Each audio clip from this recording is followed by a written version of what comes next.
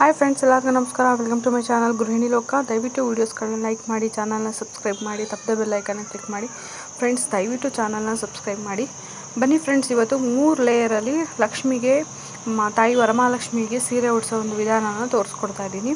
ನೋಡಿ, ನಾನು ಆಲ್ರೆಡಿ ಸೀರೆ ಉಡಿಸಿದ್ದೀನಿ. ಈ ಒಡವೆ ಎಲ್ಲ ಹಾಕಿ ತಾಯಿನ ಅಲಂಕಾರ ಮಾಡಿದ್ದೀನಿ. ತುಂಬ ಈಸಿಯಾಗಿ ತುಂಬ ಸಿಂಪಲ್ಲಾಗಿ ಒಬ್ಬರೇ ಸ್ಯಾರಿನ ಉಡಿಸ್ಬೋದು ದೇವರಿಗೆ. ತುಂಬ ಏನು ಕಷ್ಟ ಆಗಲ್ಲ. ಬನ್ನಿ, ಈಸಿಯಾಗಿ ಮಾಡೋದು ಹೇಗೆ ಅಂತ ನೋಡ್ಕೊಳ್ಳೋಣ. ನೋಡಿ, ಸ್ವಂತ ಡಾಬು, ತಾಯಿಗೆ ಇದು ಫುಲ್ಲು ಜಡೆ ಎಲ್ಲ ಹಾಕಿದ್ದೀನಿ. ಇನ್ನು ಯಾ, ಇದು ಡೆಮೋ ಆಗಿ ತೋರಿಸಿರೋದ್ರಿಂದ ನಾನು ಯಾವುದೇ ರೀತಿ ಅದು ಹೂವು ಬಳಸಿಲ್ಲ. ನೀವು ಹೂವೆಲ್ಲ ಅಲಂಕಾರ ಮಾಡಿದ್ರಂತೂ ತಾಯಿ ಫುಲ್ ಸೂಪರಾಗಿ ಕಾಣಿಸ್ತಾಳೆ. ಬನ್ನಿ, ನೋಡೋಣ ಹೇಗೆ ಮಾಡೋದು ಅಂತ. ನೋಡಿ ಫಸ್ಟು ನಾನು ತಾಯಿಗೆ ಉಡಿಸ್ಬೇಕಾದ ಒಂದು ಸೀರೆ, ಒಂದು ಸ್ಕೇಲ್ ಬೇಕು. ಯಾಕಂದರೆ ಬಿಂದಿಗೆ ಕಟ್ಟಬೇಕಲ್ಲ ಸೊ ಹಾಗಾಗಿ. ಅದಕ್ಕೆ ಬೇಕಾಗಿರೋದು ಒಂದು ವೈಟ್ ದಾರ, ಮತ್ತು ಈ ಥರ ಒಂದು ಗೋಲ್ಡನ್ ಟೇಪ್ ಎಲ್ಲ ಬ್ಯಾಂಗಲ್ ಸ್ಟೋರಲ್ಲಿ ಸಿಗುತ್ತೆ. ಮತ್ತು ಸೇಫ್ಟಿ ಪಿನ್ಸು ಸ್ವಲ್ಪ ಜಾಸ್ತಿ ಇಟ್ಕೊಳ್ಳಿ.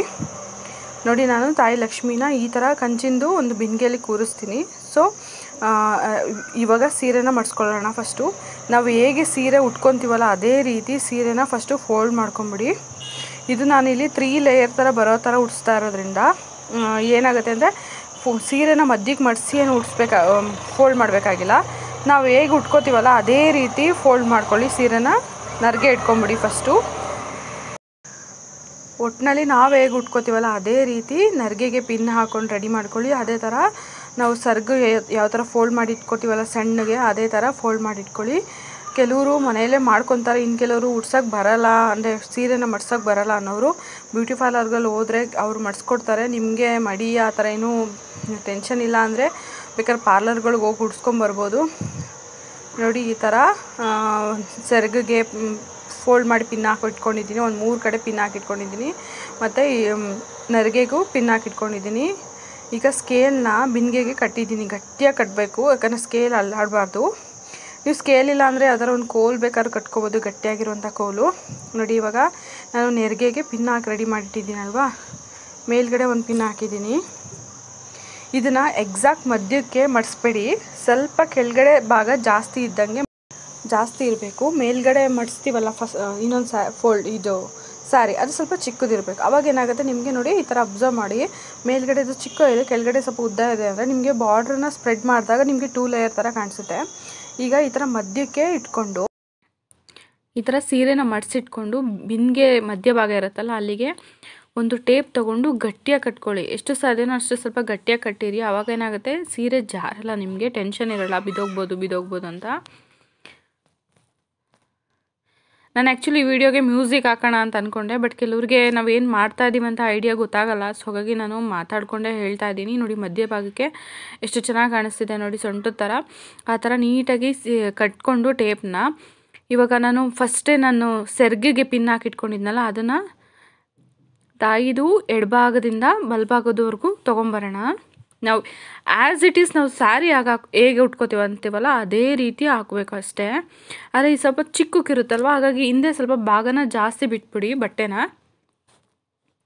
ಇಲ್ಲ, ನೆರಿಗೆ ಜಾಸ್ತಿ ಹಾಕಿದರೆ ಸರ್ಗು ಅಷ್ಟು ಉದ್ದ ಬರಲ್ಲ. ಇನ್ ಕೇಸ್ ನೀವು ಸರ್ಗನ್ನ ಚಿಕ್ಕದು ಮಾಡ್ಕೊಂಡಿದ್ರು ತುಂಬ ಈಸಿನೇ ನೋಡಿ, ಇವಾಗ ನಾವು ಹೇಗೆ ಹಾಕೋತೀವಲ್ಲ, ಅದೇ ರೀತಿ.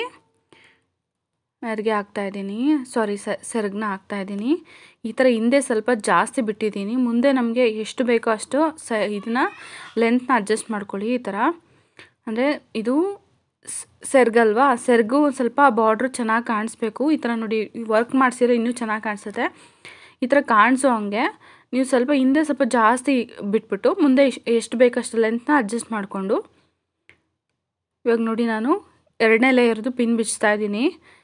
ಇದನ್ನು ಇವಾಗ ಸ್ಪ್ರೆಡ್ ಮಾಡ್ತಾ ಇದ್ದೀನಿ ನರ್ಗೆನ. ಆಗ ಸೆಕೆಂಡ್ ಲೇಯರ್ ಥರ ಆಗುತ್ತೆ ಇದು. ನನಗೆ ಕ್ಯಾಮ್ರಾ ಸ್ಟ್ಯಾಂಡ್ ಕರೆಕ್ಟಾಗಿ ಇಟ್ಕೊಳ್ಳೋಕೆ ಬರ್ತಾಯಿಲ್ಲ ಸೊ ಹಾಗಾಗಿ ಕೆಳಗಡೆ ಲೇಯರ್ ಈಗ ನೋಡಿ ಕೆ ಥರ್ಡ್ ಲೇಯರ್ದು ಪಿನ್ ತೆಗೆದ್ಬಿಟ್ಟು ಸೆರ್ಗ್ನ ಸಾರಿ ಬಾರ್ಡ್ರನ್ನ ನಾನು ಸ್ಪ್ರೆಡ್ ಮಾಡ್ತಾ ಇದ್ದೀನಿ ಈ ಥರ ನೆರಿಗೆನ. ಅದು ನಾನು ಕರೆಕ್ಟಾಗಿ ತೋರ್ಸೋಕ್ಕಾಗಿಲ್ಲ ನೋಡಿ ಈ ಥರ ಸೆಕೆಂಡ್ ಲೇಯರ್ ಮತ್ತು ಥರ್ಡ್ ಲೇಯರ್ ಎರಡೂ ನೆರಿಗೆಗಳನ್ನ ಸ್ಪ್ರೆಡ್ ಮಾಡಿಕೊಂಡಾಗ ನಿಮಗೆ ಲೇಯರ್ ವೈಸ್ ಕಾಣಿಸುತ್ತೆ. ಇವಾಗ ನಾನು ಸೆರ್ಗ್ನ ತೆಗ್ದು ಹಾಕಿದ್ನಲ್ಲ, ಅದು ಮಧ್ಯಕ್ಕೆ ಕರೆಕ್ಟಾಗಿ ಒಂದು ದಾರ ತೆಗೆದು ಗಟ್ಟಿಯಾಗಿ ಕಟ್ಕೊಳ್ಳಿ. ಅವಾಗ ಸೇಮ್ ಸೊಂಟು ಡಾಪ್ ಹಾಕ್ತೀವಲ್ಲ ಆ ಥರ ನೀಟಾಗಿ ಕಾಣಿಸುತ್ತೆ. ಈ ಥರ ನೋಡಿ, ಈ ಥರ ಟೈಟಾಗಿ ಎಳ್ದು ಹಿಡ್ಕೊಂಡು ಸ್ವಲ್ಪ ಕಟ್ಟಿ. ಬಿಂದಿಗೆಗೆ ನೀರು ತಪ್ಪೂರ ಅಕ್ಕಿ ತುಂಬಿರ್ತೀವಲ್ಲ ಸೊ ಹಾಗಾಗಿ ಬಿಂದಿಗೆ ಏನು ಜಾರಲ್ಲ, ನೀಟಾಗಿ ಕುತ್ಕೊಳ್ಳುತ್ತೆ. ನೋಡಿ, ಈ ಥರ ಮಧ್ಯಕ್ಕೆ ದಾರ ಹಾಕ್ಕೊಂಡು ನಾವು ಹೇಗೆ ಸೊಂಟಕ್ಕೆ ಡಾಪ್ ಹಾಕೋತೀವಲ್ಲ ಅದೇ ರೀತಿ ನೀಟಾಗಿ ಕಟ್ಕೊಳ್ಳಿ. ಅವಾಗ ನೀಟಾಗಿ ಚೆನ್ನಾಗಿ ಬರುತ್ತೆ. ನೋಡಿ, ಈಗ ಮಧ್ಯಕ್ಕೆ ದಾರ ಕಟ್ಟಾಗಿದೆ. ನಾನು ಈಗ ಕೈಯಲ್ಲೇ ಮೊಬೈಲ್ ಇಟ್ಕೊಂಡು ತೋರಿಸ್ತಾ ಇದ್ದೀನಿ. ನೋಡಿ, ಈ ಥರ ಫಸ್ಟು ಸೆರಗನ್ನ ಬಾರ್ಡ್ರೆಲ್ಲ ಸ್ಪ್ರೆಡ್ ಮಾಡ್ಕೊಳ್ಳಿ. ಅದು ಫಸ್ಟ್ ಲೇಯರ್ ಆಗುತ್ತೆ. ನೋಡಿ, ಎಷ್ಟು ಚೆನ್ನಾಗಿ ಕಾಣಿಸ್ತಿದೆ ಅಲ್ವಾ? ಸ್ಯಾರಿ ಒಂದು ಉಡ್ಸೋದು ಕಲ್ತ್ಬಿಟ್ರೆ ನೀವು ಯಾವ ಥರ ಬೇಕಾದ್ರೆ ಡಿಸೈನ್ ಮಾಡ್ಕೊಬೋದು. ನೋಡಿ, ಇದು ಮಧ್ಯದ್ದು ಸೆಕೆಂಡ್ ಲೇಯರ್ ಇದು. ಇದೂ ಅಷ್ಟೇ ಸ್ಪ್ರೆ ಇದು ನರಿಗೆಗಳನ್ನೆಲ್ಲ ಸ್ಪ್ರೆಡ್ ಮಾಡ್ಕೊಂಡಿದ್ದೀನಿ. ಇದು ಸೆಕೆಂಡ್ ಲೇಯರ್ ಆಗುತ್ತೆ.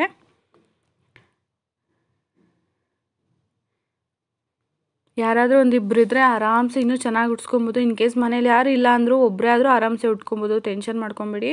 ನೋಡಿ, ಇದು ತರ್ಡ್ ಲೇಯರು ಈ ಥರ ಇದನ್ನೂ ಅಷ್ಟೇ ಬಾರ್ಡ್ರುಗಳನ್ನೆಲ್ಲ ಸ್ಪ್ರೆಡ್ ಮಾಡ್ಕೊತಾ ಇದ್ದೀನಿ ನಿಮ್ಮ ಮನೇಲಿ ಏನಾದರೂ ಹೇರ್ ಸ್ಟ್ರೈಟ್ನರ್ ಏನಾದ್ರು ಇದ್ದರೆ ನರಿಗೆಗಳಿಗೆ ಪ್ರತಿಯೊಂದಕ್ಕೂ ಸ್ವಲ್ಪ ನೀ ಹಿಂಗೆ ಸ್ಟ್ರೈಟ್ನಿಂಗ್ ಥರ ಮಾಡಿದ್ರೆ ಫುಲ್ ಬಾರ್ಡ್ರು ನಾವು ಹೇಳ್ದಂಗೆ ಕೇಳ್ತವೆ. ಅಷ್ಟು ಚೆನ್ನಾಗಿ ಕುತ್ಕೊತವೆ. ನೋಡಿ, ಇವಾಗ ಮಧ್ಯಕ್ಕೆ ದಾರ ಕಟ್ಟಿದ್ದೀನಲ್ವ? ಇವಾಗ ನೋಡಿ, ಅಷ್ಟು ಚೆನ್ನಾಗಿ ಕಾಣಿಸ್ತಿದ್ದಾಳಲ್ವ ತಾಯಿ?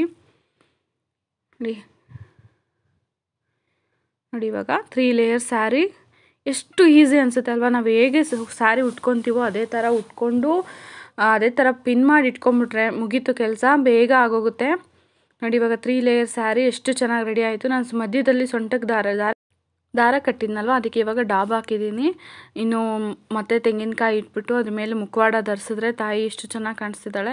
ಇನ್ನು ನೀವು ಸ್ಕೇಲ್ ಇದೆಯಲ್ಲ ಆ ಕಡೆ ಕಡೆ ಸೈಡ್ ಅಲ್ಲಿಗೆ ಬಳೆ ಎಲ್ಲ ಹಾಕ್ಬೋದು. ಮತ್ತು ಕೈನೂ ರೆಡಿಮೇಡ್ ಕೈ ಸಿಗುತ್ತೆ. ಯಾವ ಥರ ಬೇಕಾದ್ರೂ ನೀವು ಇನ್ನು ಮಿಕ್ಕಿದ್ನ ಅಲಂಕಾರ ನೀವು ಆರಾಮ್ಸೆ ಮಾಡ್ಕೊಬೋದು.